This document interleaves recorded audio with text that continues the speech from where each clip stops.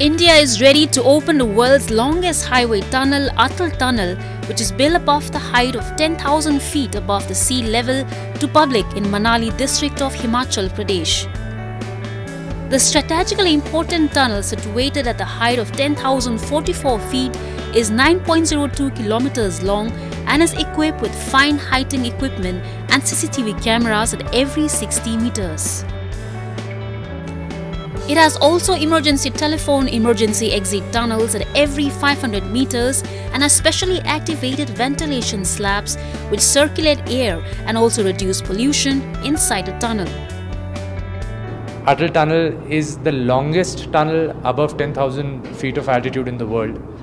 It has this escape tunnel where we are standing right now we have the main tube on top and above that we have a ventilation slab and below us is the drainage arrangement. So we have four levels which makes it about 13 and a half meters diameter. Now to cut this kind of a cross section through a shear zone which the tunneling fraternity of the world had not seen before. The engineering marvel took 10 years to complete. The idea was first proposed in the year 1999 by the then Prime Minister Atal Bihari Vajpayee, after whom the tunnel is named.